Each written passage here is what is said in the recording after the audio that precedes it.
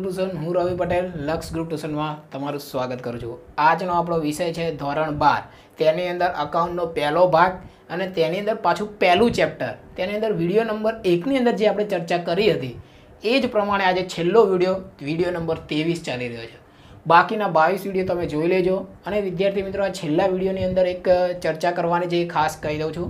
કે આ વિડીયોની નીચે મેં એક લિંક મૂકેલી છે, જેના આધારે તમે ઓનલાઈન ટેસ્ટ આપી શકશો. અને એમસીક્યુ જ છે.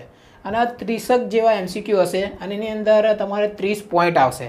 અને ત્રીસે ત્રીસ સાચા પડી જશે તો તમને ટોટલ ત્રીસ પોઈન્ટ મળશે. અને આ ત્રીસ પોઈન્ટ જો તમને મળી જાય છે, તો સમજી લો કે બોર્ડની અંદર તમારે એક એમસીક્યુ પૂછાશે.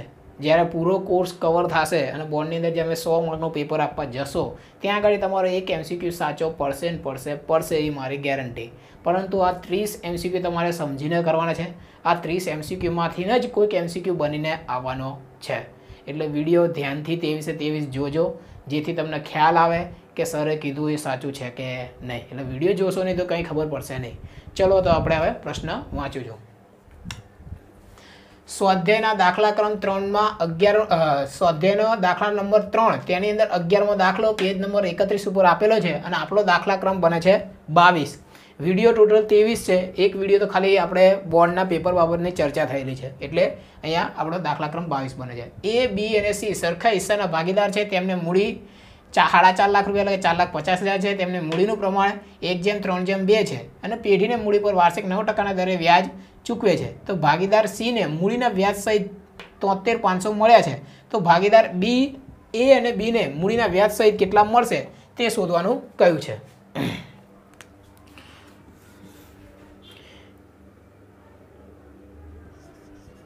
મૂડી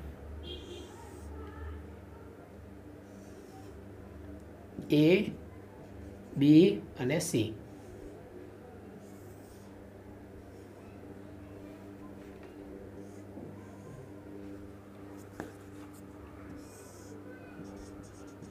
વિગત તો કે મૂડી ટોટલ સાડા ચાર લાખ રૂપિયા છે અને એ કયા પ્રમાણે છે મિત્રો?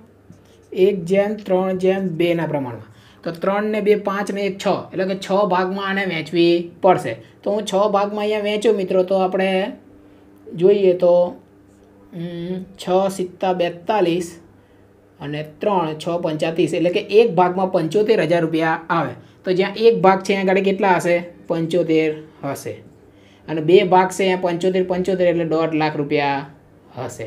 દોઢ લાખમાં બીજા હું પંચોતેર નાખી દઉં, એટલે બે લાખ પચીસ હજાર રૂપિયા થાય મિત્રો. જો મિત્રો આ રીતે ખ્યાલ ના આવતો હોય તો કેલ્ક્યુલેટરમાં બી તમને કરીને સમજાવી દઉં છું. આ મારા હાથમાં કેલ્ક્યુલેટર છે, તમને દેખાતું હશે. કે ટોટલ સાડા ચાર લાખ રૂપિયા છે? થયા સાડા ચાર લાખ અને ટોટલ સરવાળો કરવાનો, ત્રણને બે, પાંચને એક, છ. તો છ ભાગ પાડ દેવાના. કેટલા થયા? એક ભાગમાં પંચોતેર હજાર. તો એક ભાગ જ્યાં હોય અહીંયા પંચોતેર મૂક્યા. બે ભાગ છે અહીંયા આગળ, બે વડે ગુણીને મૂકી દેવાના. થઈ ગયા દોઢ લાખ રૂપિયા. ત્રણ ભાગ છે અહીંયા આગળ પંચોતેર ગુણ્યા શું કરી દેવાના? ત્રણ ભાગ. તો બે લાખ પચીસ હજાર થઈ ગયા મિત્રો.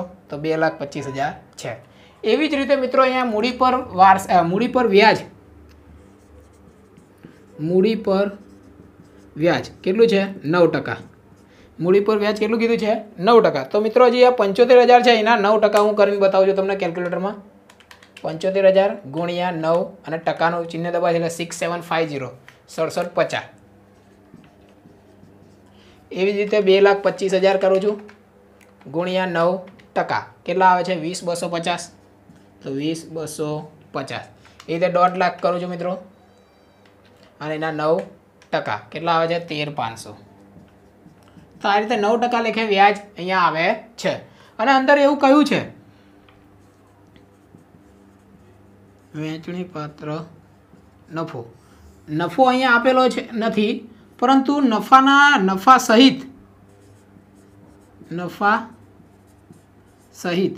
તો નફા સહિત અહીંયા ગાડી સીને મૂડીના વ્યાજ સહિત કેટલા મળ્યા છે? તોતેર પાંચસો. સી ક્યાં છે? આ રહ્યું. તો તોતેર પાંચસો. તો અહીંયા નફો કેટલો હશે એ આપણને ખબર નથી. મિત્રો, મૂડી અલગ વસ્તુ છે.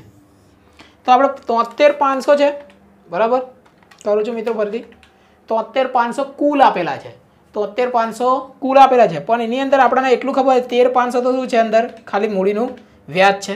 તો નફો કેટલો હશે? સાઠ હજાર રૂપિયા હશે. તો અહીંયા ગાડી સાઠ હજાર રૂપિયા હું લખી શકું. અને મિત્રો આ મળ્યા એટલે હું ગોળ કરું છું. અને આ નફો છે. અને નફાનું ક્યાંય પ્રમાણ આપ્યું નથી. એટલે બધે નફો કેવો હશે? સરખે હશે એટલે સરખો હશે. તો બધે હું સાઠ સાઠ હજાર રૂપિયા કરી શકું. દાખલો હજુ પણ પતતો નથી મિત્રો. પછી લખ્યું છે કે બી એ અને બીને મૂડીના વ્યાજ સહિત કેટલી રકમ મળશે? તો અહીં ઘડી સાઠ હજાર રૂપિયા તો એમ લોકોને નફો મળ્યો છે. પ્લસ એ લોકોને સિક્સ સેવન ફાઇવ જીરો એટલે કે મૂડી પર વ્યાજ કેટલું હતું? સડસઠ પચાસ હતું એટલે છાસઠ સાતસો પચાસ. એને મળશે. એ રીતે વીસ, બસો પચાસ. પ્લસ સાઠ હજાર રૂપિયા એ લોકોને નફો એટલે એંસી બસો પચાસ.